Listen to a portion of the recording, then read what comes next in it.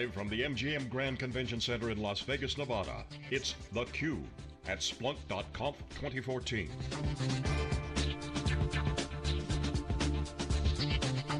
Brought to you by headline sponsor, Splunk. Here is your host, Jeff Kelly. Welcome back everybody to Splunk Conference 2014, live here on theCUBE. I'm Jeff Kelly with Wikibon. Uh, I'm joined by Greg Kleiman, who is the Director of Big Data Strategy at Red Hat, as well as Sandeep Khaneja, who's the Vice President of Business Development and Worldwide Sales at Function One. Guys, welcome to theCUBE. Thanks. Good to be here. So we're having, a, we're having a great time here at the show. We're interviewing a lot of interesting people. Uh, it's great to have you, you on. So Sandeep, let's start with you. I think Function One is maybe a company that our audience might not be too familiar with. Why don't you yeah, tell us a little bit about Function absolutely. One and your role? So, uh, like I said, I'm the VP of Business Development Worldwide Sales. Uh, the company was founded in 2007 uh, as a solutions and services company. Uh, we partnered with Oracle, Splunk, and a couple other vendors along the way. And you know, we basically have three, arguably four lines of business data security, operational intelligence, and web content management. Mm -hmm. And uh, you know, within the operational intelligence space, we're a partner with Splunk. We partnered with Splunk about five years ago. Um, and that's kind of like what brought us to the conference. You know, we obviously we partnered with Red Hat uh, earlier this year you know, to start to build a relationship there as well. It's great to be here. So you're going out and, and, taking these technologies from companies like Splunk and helping uh, your customers implement them and make the best use of them? Right, it's essentially we, we will start out with a customer that you know, recently purchased the product, help them understand where they're going to get the most value from it, right? Some of it's identifying use cases, some of it is just helping them like architect it so that it's a solution that's going to last for them, right? Having done hundreds of deployments now, it's, it's nice to see customers grow. Um, you know, we work with customers that index like 20 to 30 terabytes of data per day, which you know, on the grand scheme of things is, is, a, is a ton of data, right? These are massive data sets. Um, so I mean, our relationship there and what we do with customers is basically ensuring that they get a, the most value out of the product, they're getting you know, the experience that is necessary to, to roll out enterprise class deployment, right? And then buys them along the way, you know, in a solutions and services capacity to make sure they're getting you know, what they need from it. Right, so I mean, when you think of Splunk, you think of the, you know, the, the storage is a component of it, but it's not, Splunk is not designed to be a large scale storage system. Right. Uh, so, and, and I, am supposing that's where Red Hat comes in to, to, kind of help address that issue. Talk a little bit about, um, uh, Greg, about Red Hat's role and relationship with Splunk and how you're helping Splunk customers uh, kind of deal with their storage constraints. Yep, sure. So as Cindy mentioned, you know, a lot of large customers uh, are struggling, they're throwing out data, uh, they'd like to keep more data to get better analytics, but they're struggling with, the, with managing the storage. Mm -hmm. So that's where Red Hat comes in. Um, so we have a new, new solution that we announced last week, uh, which is kind of a hybrid approach to storage for Splunk, where we keep the hot and the warm data on the index server, so that provides very good performance for indexing and searches, mm -hmm. uh, and then we move the cold data off to Red Hat storage. And that, by doing that, we get the advantages of a shared storage, where it's very easy to manage, we get better availability, uh, you know, we can uh, handle failures and still serve the data, um, very easy to manage, so it keeps the management costs low. Um, but by keeping the hot data on the index servers, we get very good performance mm -hmm. at a very low, at the cost of commodity servers. Mm -hmm. uh, so that really gives Splunk customers the best of both worlds. They get very high performance at a very low cost, and they get better business outcomes because they can keep more data around. Mm -hmm. that's, that's, key, right? I mean, that's, that's the customer that, if you have a customer that's been using Splunk for six months or a year, the reason they're using it is because they can do like the pattern recognition, the anomaly detection, you know, generate the reports like on the fly for what they need, but it's based on these really massive data sets. Mm -hmm. So you'll find like a commonality amongst customers is that they'll keep the data around you know, for maybe 45 days, depending, or years, depending on what the, what the retention requirement is. And like the, the cost of keeping that data around, if you're talking about you know, a terabyte or two terabytes of data per day that you're indexing, over a year, that's 700 terabytes, mm. right? So, you know, if you're, maybe the retention requirements to keep it around for several years, right? And the cost of storage becomes prohibitively expensive. Mm -hmm. So what customers start to do is they either don't keep the data around, right? Or they offload it to something that, like a shared storage where you're losing performance on it, mm -hmm. right? And it's a, it's a huge problem, which is what, I mean, Red Hat Storage offers that new hybrid solution that you know, gives you, like Greg said, the, it's the best of both worlds. So the idea is you could store much more data at a reasonable cost, but still have that data available for analysis when you need it to easily bring that back into the Splunk environment should you decide to do that. Is that kind of the value proposition? Exactly. So the cold storage is still searchable. So you know, for especially for things like cybersecurity analytics, right? Uh, the more data you have, the better security you have. Most analysts will tell you that. Uh, so by having a very large cold storage pool, you actually improve your analytics.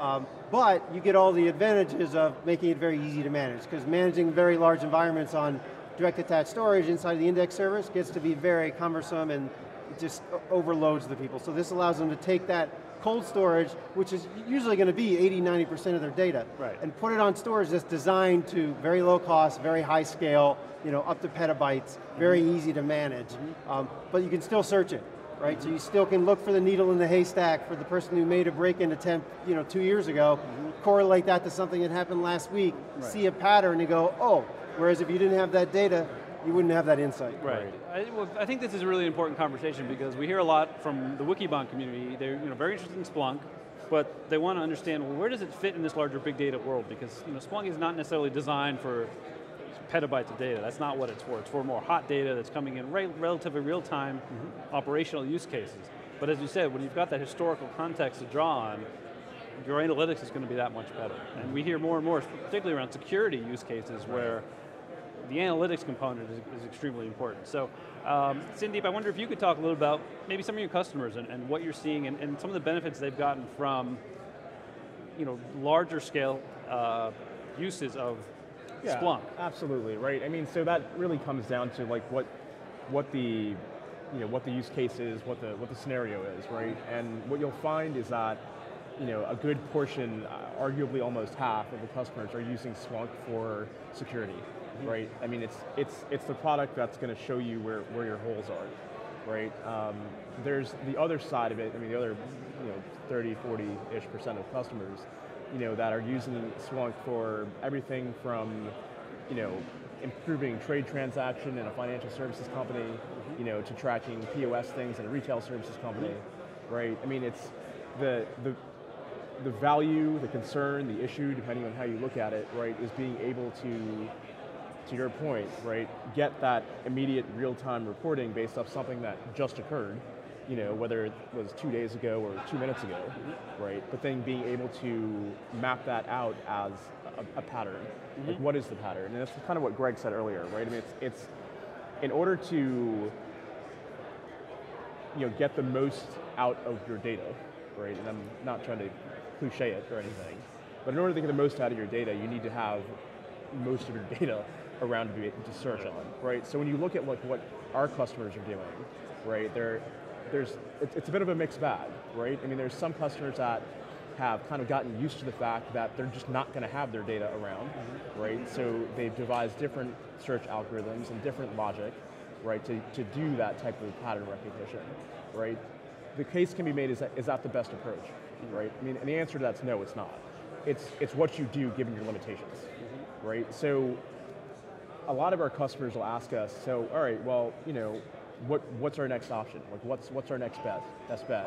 What do we do to, to be able to improve our ability, improve the, the quality of the results that we're getting back, right? And there are things you can do, you know, from Splunk, you know, working within the confines of what the product can do, uh, summary indexing, and to just basically trim down the amount of data you're looking at. But if you're looking to get that real recognition, you can't really get it from like blocks of summary indexed. Right. I mean, you can, it's, and it's a great way to do it, and I'm, it's definitely not a knock towards summary indexing. Summary index is fantastic, right? However, having access to the full data set is where is much more valuable mm-hmm. than you know what you would get from you know random points in time.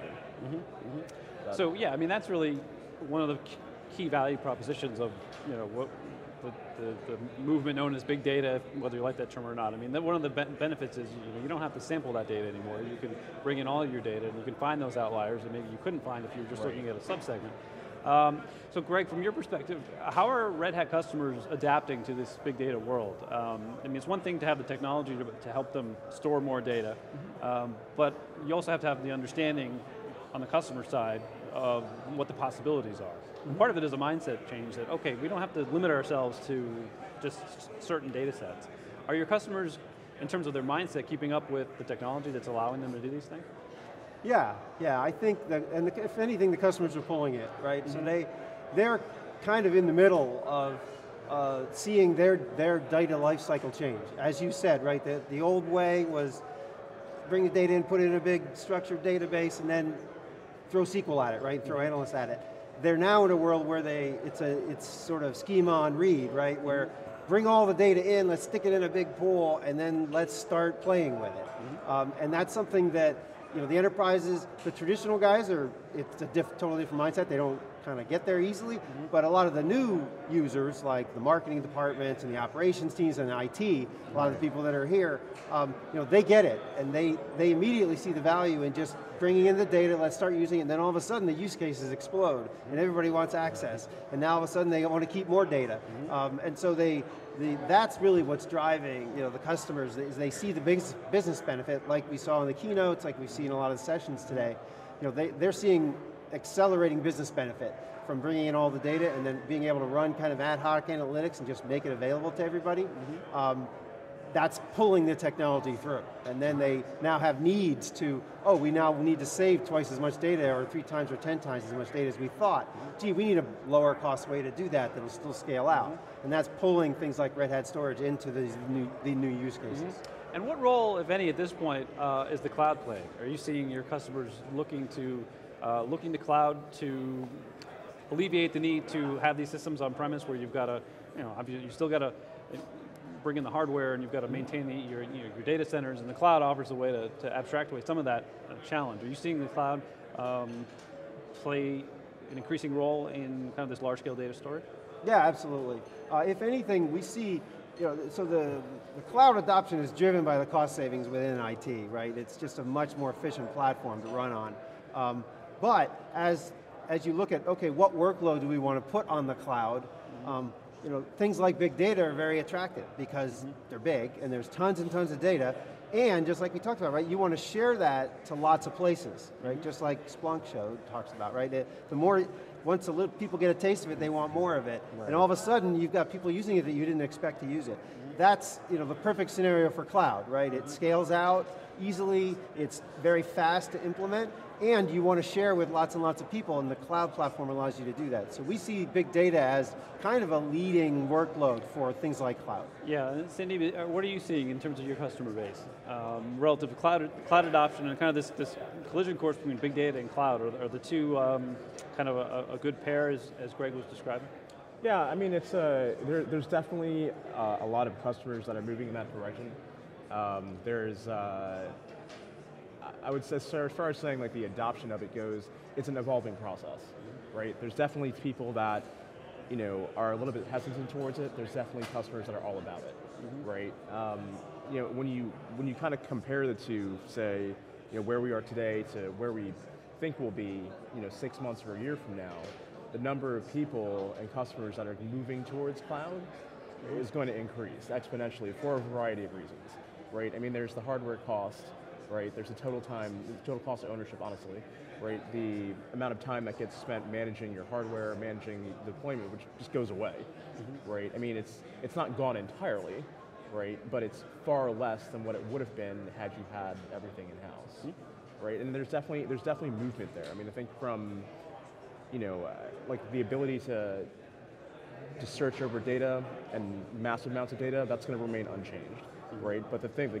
biggest thing that's going to change is the amount of time that gets spent managing that infrastructure, mm -hmm. right? It's, it's, it's no longer, you think about it in terms of productivity, right? I mean, how much of your time gets spent into like the upkeep, you know, the maintenance, the patching, you know, the availability, the ability to, to elastically expand, you know, it's, it's time consuming, it's also really expensive, mm -hmm. right? So when you're looking at you know, the Splunk Cloud or the cloud in general, right? I mean, that's, that's, that's the value add, right? For newer customers to Splunk, um, you know, and, and customers that aren't necessarily sure that you know, that's the direction they want to go in, it's, it's a no-brainer, right? I mean, hey, let's kick this thing up, let's get started, let's move towards it, you know, and, but for the customers that are a little more established, um, that have been using the product uh, or products like it for several years, I don't know. Like I don't. It's it's it's. A, I've had the conversation with our customers, especially ones that are doing you know 10, 11 terabytes a day. I'm like, hey, do you want to go in this direction? You'll save you know this much money. Mm-hmm. You know, you can reallocate that money to enriching you know the value add that you're getting out of the product as mm-hmm. opposed to the technology stack that's making the product run, mm-hmm. right? And there's there's definitely a case to be made there, but I think it's something you'll see more in this next six months to a year than customers that are using it today. Yeah. Um, so only have a couple minutes left. Greg, would love to get your take on Splunk. I mean, so we're seeing you know several announcements here this week um, around. Uh, you know, they're rolling out things like Mint, their mobile uh, application, but uh, but even taking a step back from any specific announcements, I mean, what is your take on Splunk's development over the last year, couple years? I mean, now that they're a public company, they're growing like crazy. They've got pressure from Wall Street, of course, as well. What's your take on how Splunk is developing and, and, and investing their resources?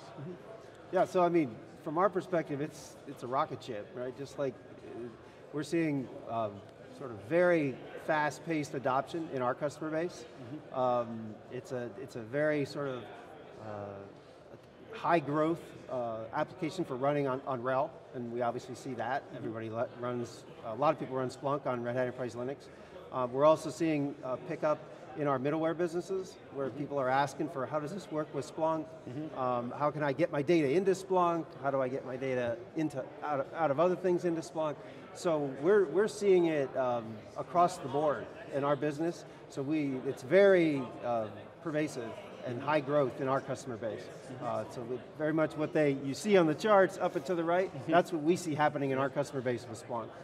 And uh, maybe in terms of your customers, do you feel like Splunk did the the areas where they're investing their money around, uh, you know, enabling more ra- uh, rapid application development and uh, mobile first and security? Are those areas uh, align with what your customers are most interested in? I mean, it's something that customers have been demanding now for, you know, it, it- you know, once they first came to Splunk a couple years ago, in the last year or two, it's, it's, there needs to be a better way and a faster way of, you know, producing apps on Splunk, and, and they've done that, right? I mean, Splunk's lived up to what they've committed to their customer base in, in, in a great way. You know, Splunk for Mint is huge. It's an enormous, you know, step forward that customers want, right? A lot of customers spend their time developing those things in the, on the mobile frameworks. Now you don't really have to, right? It's, uh, it's been a tremendous uh, effort to get there. We've been a pretty large part of making it, making those things happen behind the scenes, uh, working with Splunk engineering and you know other folks as well as customers to kind of proof out the concepts. Um, you know, but the, the fact that you know Splunk committed to it, they lived up to it, and they delivered it, right? So it's it's going to be huge. Yeah. Well, well, we'll be interested to see next year when we're back here at the show, um, kind of the progress that they've made. So, Greg from Red Hat, Sandy, Function One. Thank you guys so much for joining us on theCUBE. Uh, thanks for watching. Keep it there. We're going to be back in just a minute with continuing live coverage of Splunk Conference 2014, live on theCUBE here in Las Vegas. Stay tuned.